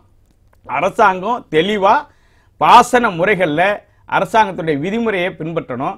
அது ஏற்கனவே அரசாங்கம் சட்டமாக்கி வச்சிருக்கு. அந்த சட்ட விதிமுறைகளை பின்பற்றணும். பொதுப்பணித்துறை தன்னாட்சி அதிகாரத்தோடு நிர்வாக விஷயங்களை தலையிடணும். அதற்கு அனுமதிக்கணும். எல்லாத்தையும் அமைச்சர்கள் தான் சொல்லணும். எல்லாத்தையும் முதலமைச்சர் தான் சொல்லணும்னாக்கா இந்த பிரச்சனைகளை அரசு தான் தள்ள சுமக்கணும். நீற்றோண திட்டம் இந்த ஸ்டெர்லைட் ஆலை இந்த எரிவாயு கேஸ் குழாய் பதிக்கும் திட்டம் இதெல்லாம் வந்து தமிழ்நாட்டுல வந்து மத்திய சர்க்கார் திணிக்குதா? இல்ல வந்து தமிழகத்துக்கு அது தேவைதான ஒரு திட்டமா? திணிக்குதுங்கிறது ஒரு உதாரணம். நீட்டுண திட்டத்துல சாதக பாதங்களை பத்தி பல கருத்து பரிமாற்றம் இருக்கு தமிழ்நாட்டுல. எல்லா கட்சிகிட்டையும் ஒத்த குறுத்தெல்லாம் இல்லை. நான் நேரடியா போய் அதை பார்த்தேன். அது கிட்டத்தட்ட ஒன்பது நாடுகள்லயே ஏழு நாடு ஏழு நாடுகள்ல உலக நாடுகள்ல இந்த திட்டம் நீட்டுண ஆய்வு மையம் அமைக்கிறாங்க. அதுல உலக நாடுகள்ல ஏழு நாடுகள்ல ஒரே நாடு தமிழ்நாடு மட்டும்தான் குடியிருப்பு பகுதியில. தமிழ்நாட்டுடைய மழை ஆதாரம் தென்மேற்கு பருவமழையை நம்பி தான் அணைகள் இருக்கு. அந்த மலை பகுதியில இந்த திட்டத்தை செயல்படுத்துறாங்க. இதுக்காக திட்டமிட்டு எண்பத்தி நாலாம் ஆண்டுல இருந்து மரம் வளர்க்கறதெல்லாம் தடை பண்ணிருக்காங்க இருந்த மரங்களை எல்லாம் அழிச்சிருக்கிறாங்க. அந்த பகுதி மக்களை தவறான வகையில திசை திருப்பி இருக்கிறாங்க. ஒட்டுமொத்தமா ஒரு குடியிருப்பு பகுதியில விளைநில பகுதியில ஒரு மாநிலத்துக்கே நீராதாரமா விளங்கக்கூடிய அந்த மலையடி வாரத்தை மலை மலை மீது இந்த திட்டத்தை கொண்டாந்து திணிக்கிறாங்க இந்தியாவுல. வேற எந்த நாட்டிலையும் இந்த மாதிரி வசிக்கிற பகுதியில் இல்லைன்னு சொல்லி அந்த திட்டத்தை நிறைவேற்றக்கூடிய ஆய்வாளர்களே அதை வெளியிட்டு இருக்கிறாங்க நேரடியாவே. இது ஒண்ணு இந்த திட்டம் பாதிப்பை உருவாக்கும். பாக்கி எல்லா நாட்டிலையும் கடலுக்கு கீழே பண்ணியிருக்கிறாங்க. நிலத்துக்கு நீள மிகப்பெரிய பாலைவன பகுதியில் மக்கள் வசிக்காத பகுதிகளில் நிலத்துக்கு கீழே கொண்டு ஆயிரக்கணக்கான அடி ஆழத்துல தான் இந்த ஆய்வு மையங்களை உருவாக்கியிருக்கிறாங்க. இந்தியாவில் மட்டுமே கொண்டாந்து குடியிருப்பு பகுதியில் உருவாக்குறாங்க. அது மழை நீர் ஆதாரமா இருக்கிற அந்த தென்மேற்கு மழையை நம்பி இருக்கிற அந்த மேற்கு தொடர்ச்சி மலையில இந்த திட்டத்தை செயல்படுத்துறது மூலமா பேரழிவை உருவாக்கும். பேரழிவு திட்டங்களை தமிழ்நாட்டில் நிறைவேற்றினாதான் இயற்கை வளங்களை கொள்ளையடிக்க முடியுங்கிற ஒரே நோக்கத்தோட மத்திய அரசு திணிக்குது. நம்மளுடைய நிகழ்ச்சி வாயிலாக நிறைவாக மத்திய மாநில அரசுகளுக்கு நீங்க சொல்ல விரும்புவது நிகழ்ச்சி வாயிலா நிறைவா? மத்திய மாநில அரசுகள் மத்திய அரசு விவசாய கொள்கையை கையில் எடுத்துக்கணும். இயற்கை வேளாண் விவசாயத்தை ஊக்கப்படுத்தணும். பாரம்பரிய விவசாய முறைகளுக்கான தேவையான கல்வி புரட்சியை உருவாக்கணும். ஒவ்வொரு மாவட்டத்திற்கும் ஒரு வேளாண் கல்லூரி உருவாக்கணும். தேவைக்கு ஏற்ப வேளாண் பல்கலைக்கழகங்களை உருவாக்கணும். ஆராய்ச்சி மையங்களை உருவாக்கணும். இயற்கை வேளாண் ஆராய்ச்சி மையங்களை உருவாக்கணும். இயற்கை வேளாண் ப- க- கல்வியை உருவாக்கணும். அடிப்படையாக விவசாய லாபகரமான தொழில் என்கிற நம்பிக்கையை விவசாயிகளிடத்தை உருவாக்கணும். உரிய அடிப்படை வசதிகளை மேம்படுத்துவதோடு மட்டுமல்ல நீராதார பிரச்சனைக்கு தீர்வு காணணும். விவசாய நாடு என்கிற இந்தியாவே அந்த நாட்டுக்கான ஒரு சுயசார்பு கொள்கையை உருவாக்கணும். விவசாயிகளை விவசாய தொழிலில் ஈடுபடுத்துவதற்கான நம்பிக்கை உருவாக்கணும். விவசாயம் லாபகரமான தொழில் என்பதை செயல்பாட்டில் காட்டுற போது இந்த நாடு மேம்பட முடியும். மத்திய மாநில அரசுகள் இணைந்து அதற்கான நடவடிக்கைகளை மேற்கொள்ளணும்னு தான் நாங்கள் வலியுறுத்துறோம். எங்களுக்காக இவ்வளவு நேரம் நிகழ்ச்சியில் பங்கு கொண்டமைக்கு மிக்க நன்றி சார். நேர்களே இந்த பரபரப்பான இந்த அரசியல் சூழ்நிலையில் காவிரி மேலாண்மை வாரியம் அமைக்கப்படுமா? இதற்கு மத்திய அரசு ஒத்துழைப்பு நல்குமா என்பது குறித்த பல கேள்விகளுக்கு பதிலளிப்பதற்காக அனைத்து விவசாய சங்களுடைய ஒருங்கிணைப்பு குழு தலைவர் திரு பி ஆர் பாண்டியன் அவர்கள் நம்மோடு பல்வேறு விஷயங்கள் குறித்து பகிர்ந்தளித்திருக்கிறார். நிகழ்ச்சியை இத்துடன் நிறைவு செய்கிறோம். நன்றி. வணக்கம்.